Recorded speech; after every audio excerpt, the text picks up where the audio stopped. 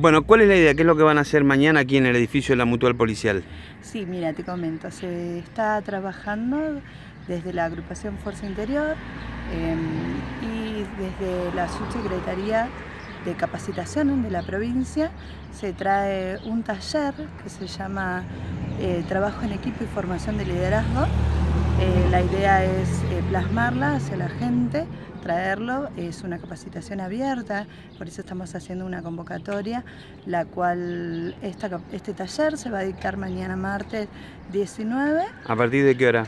De las 9 de la mañana a 13 horas. Bien, ¿no tiene límite, digo, una cantidad máxima de eh, personas? No, no, no, en realidad estábamos abriendo un cupo más o menos entre 30 y 50 personas, de las cuales para que sea práctico y para que se pueda trabajar en conjunto con la gente, por eso se va a hacer un, taller dinámico en lo cual se va a hacer un pequeño break para mm. poder dialogar con la gente, para poder compartir.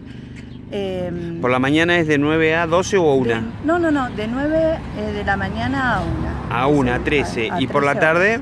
No, no, es solamente por la mañana. Esto es su única vez. Única. Es un taller que hay que aprovechar porque lo está trayendo, vuelvo a decirte, la agrupación Fuerza Interior, la cual está trayendo esta capacitación para ayudar en, realidad a la gente en, en, formación de liderazgo, Sí, sí, en formación de liderazgo.